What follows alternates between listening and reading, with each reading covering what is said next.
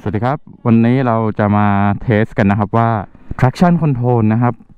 มันมีผลกับความเร็วขนาดไหนนะครับ อัตราเร่งพวกนี้ครับว่า traction control เนี่ยมันเป็นระบบที่เอาไว้สำหรับกันล้อหลังฟรีนะครับเวลาบิดคันเร่งแรงๆนะครับ ส่วนใหญ่ก็จะมีในรถที่ซีซีค่อนข้างสูงนะครับอย่างเงี้ยเนื่องจากตอนนี้เราปรับ traction control อยู่ที่หนึ่งนะครับเดี๋ยวเรามาดูอัตราเร่งกันนะครับ จากจอดนะครับไปแล้ว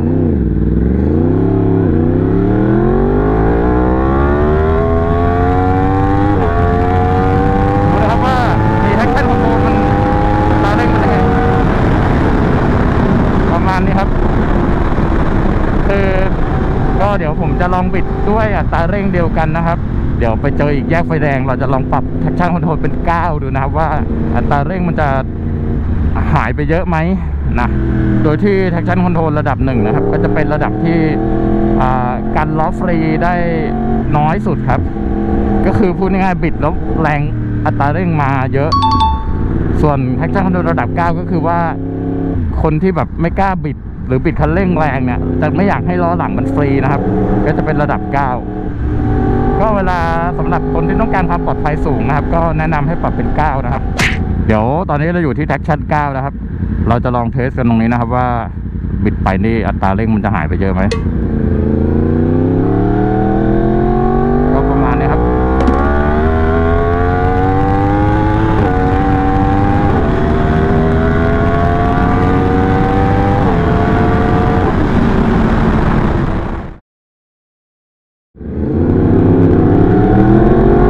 ก็ประมาณนี้ครับ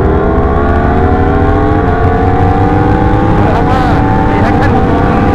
อัตราเร่งเป็นยังไงประมาณนี้ครับ ความรู้สึกคือต่างกันไม่เยอะครับ อัตราเร่งนะครับ นิดนึงครับ แค่เหมือนมันรอรอบแต่ว่าการกระชากตอนออกตัวอาจจะน้อยครับ สรุปคือปรับเป็นเก้านะครับ กับกับปรับเป็นหนึ่งนี่ต่างกันในแง่ของแรงดึงที่จะแบบทำให้ล้อลอยอะ่ะ ในมุมของอัตราเร่งนี่ก็ประมาณสัก สามสิบเปอร์เซ็นต์ครับ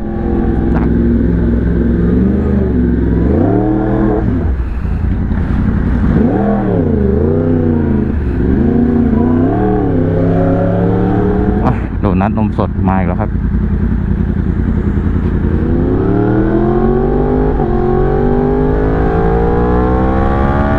เรียงเลยวะหลายค่าโอ้อาวันจอดกับอาวันแล้วกันครับ